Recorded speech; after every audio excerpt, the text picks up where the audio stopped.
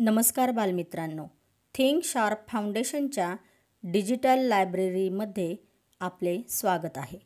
आज आपण स्टोरी विव्हर प्रकाशित वाचन पातळी दोन या पुस्तकातील एक छानशी गोष्ट ऐकणार आहोत. गोष्टीचे नाव आहे कागदाची करामत.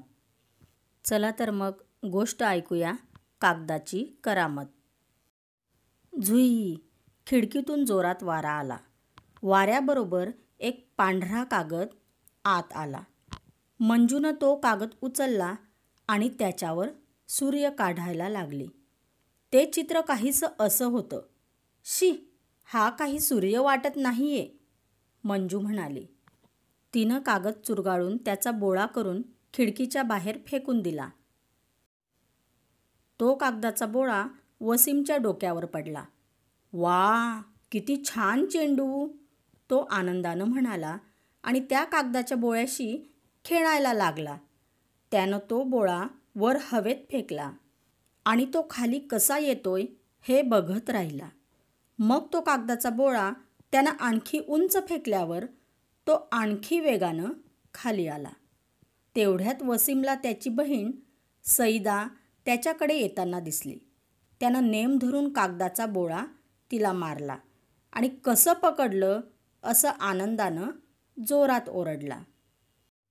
सईदानं तो कागदाचा बोळा उचलला आणि त्याच्यात एक पेन्सिल खोचून ती वसीमला म्हणाली भैया तुला हा लॉलीपॉप पाहिजे?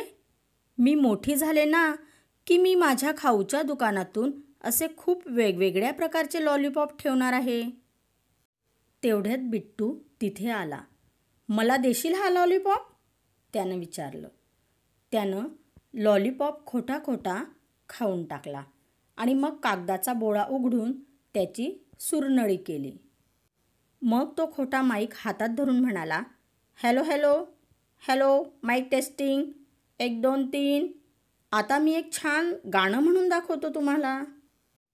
बिट्टूनं मोठ्या आवाजात हिंदी सिनेमातलं एक छान गाणं म्हटलं. मंजूनं तो कागदाचा बोळा बिट्टूकडून घेतला. तो सरळ केला आणि त्याची कागदी नाव तयार केली.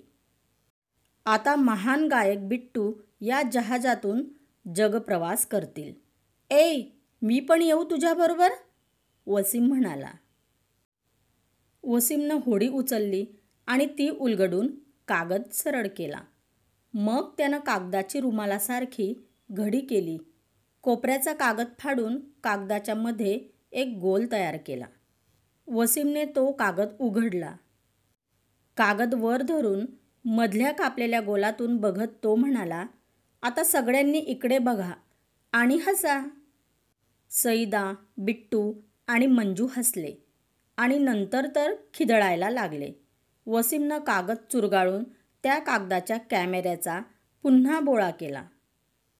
तेवढ्यात अनिल आपल्या गाढवाबरोबर तिथे आला.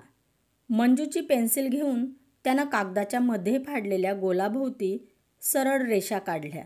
वा किती सुंदर दिसतोय हा सूर्य मंजू म्हणाली.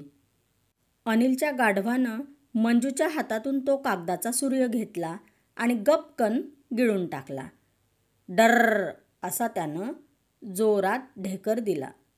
तो कागद गिळल्यावर गाढवाचा चेहरा एकदम वेगळाच दिसायला लागला. आता त्याचा चेहरा असा का झाला?